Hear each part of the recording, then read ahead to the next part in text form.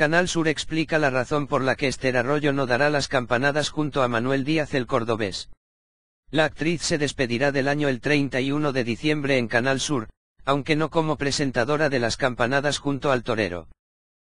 Hace escasas semanas, Canal Sur anunciaba que contaría con Manuel Díaz el cordobés como presentador de las campanadas en Nochevieja.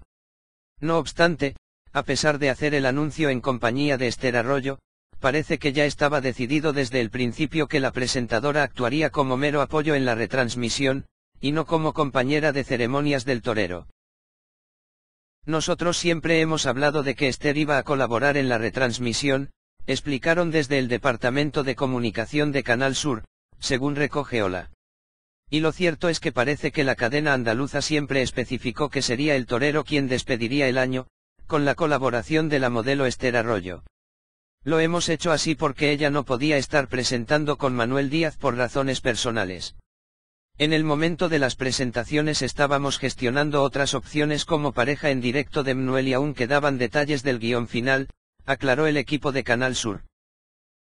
Cinco días antes de la gran noche, sin embargo, otro nombre apareció como candidata definitiva a acompañar a el cordobés el 31 de diciembre, el de la actriz y presentadora Eva Pedraza. Algo que sorprendió a los medios y al público después de que fuera Esther Arroyo quien acompañara a Díaz en la rueda de prensa.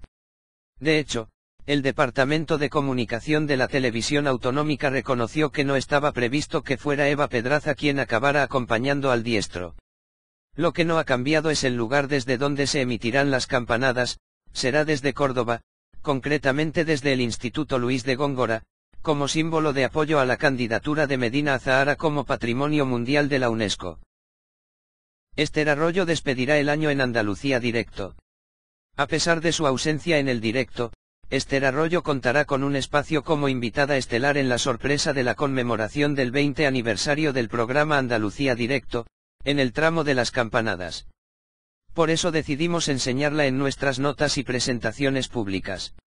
Después, cuando hemos confirmado la cara femenina de Córdoba, hemos informado puntualmente, aclaraban desde Canal Sur.